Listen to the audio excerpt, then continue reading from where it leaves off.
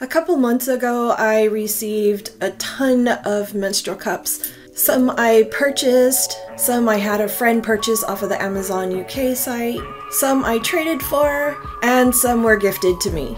Receiving so many in a short amount of time, I'm having a hard time keeping up with the requests. I might be skipping some of the unboxings, but I will still give you information about each of the cups that I received. Today I'm going to talk about the Formoonsa cup. It's the first legal cup in Taiwan. I'm going to do an unboxing, show you what you get, and then do a walkthrough of the cup and show you all the little details about it. So let's get started. Hello everyone, it's Red Herring. I hope you're having a great day. Any websites, links, or discount codes that I might have at this time will be in the description below. If you find anything helpful or interesting in this video, please give it a thumbs up, comment, share, and don't forget to subscribe if you haven't already. A couple of years ago, pictures of this cup were floating around and it hadn't launched yet, so we weren't sure if it was going to actually be put on the market, and I'm happy to see that it was. It's very similar to the FemmyCycle cup. This cup comes in three different sizes, actually two different sets. Uh, you do get two cups per set. There is a standard size and a large size. You also receive a training cup, and according to the company, you can also use the training cup if you just have a light flow. So let's go down to the table and take a look at it. I'm going to do a quick turnaround of the box. You can pause it if you need to.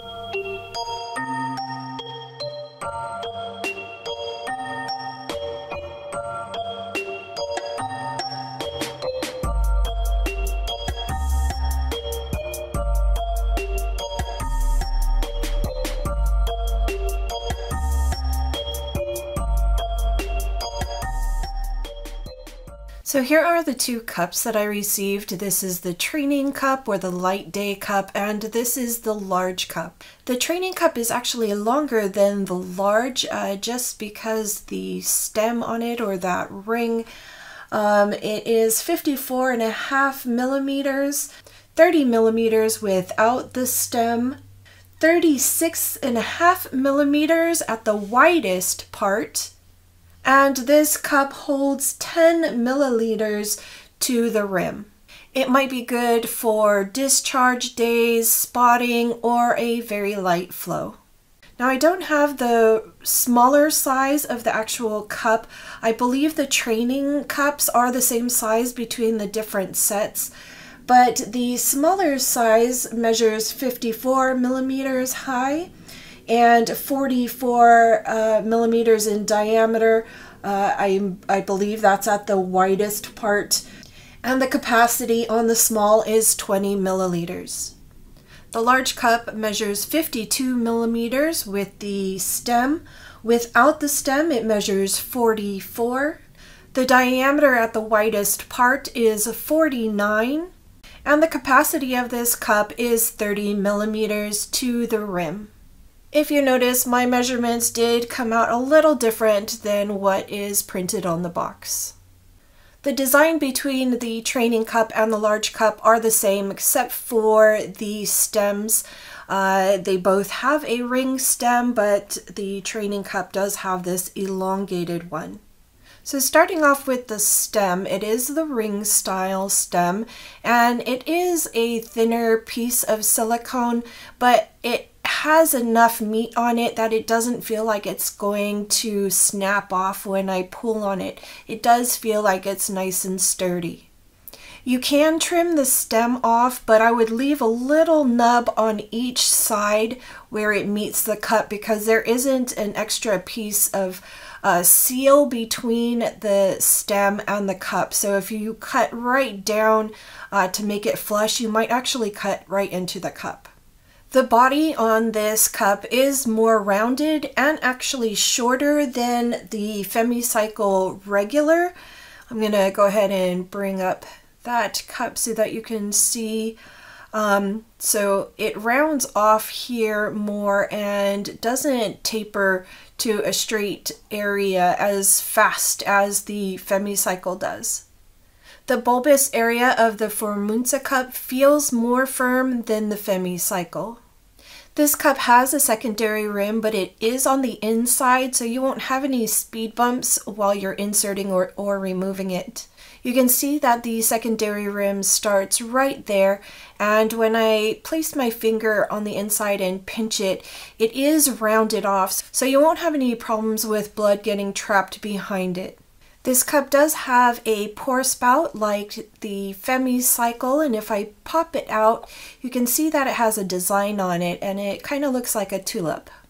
You'll notice that there is a notch right there in that inner rim and that is so that you can fold this cup a little easier. So if I put this back in here and I fold it right on that notch the cup will collapse easier than if I did it on the side that has a completed rim.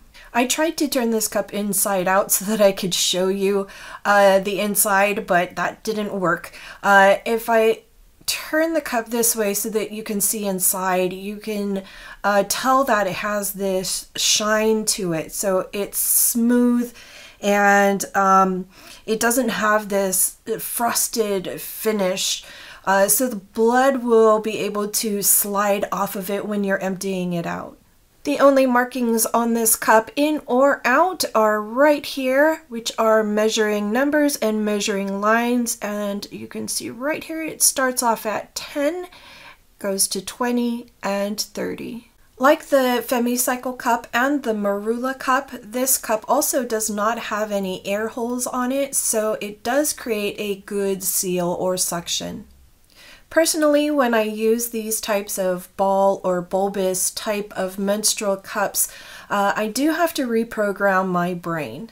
They go against everything that I've created to be a habit with the other style of menstrual cups. These types of cups don't have to open completely after you insert it to collect your flow and it can sit lower in your vaginal canal instead of being up close near your cervix or right around your cervix. I haven't actually gotten to use this cup yet.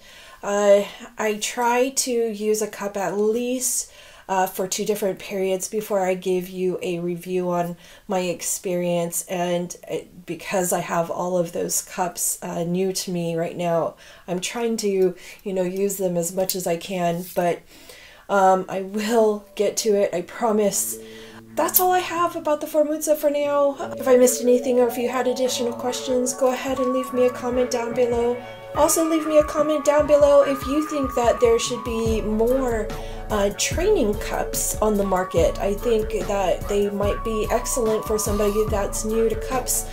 Um, maybe something with a little longer stem, uh, but I also do kind of worry about if it creates a suction, are they going to be able to break that seal?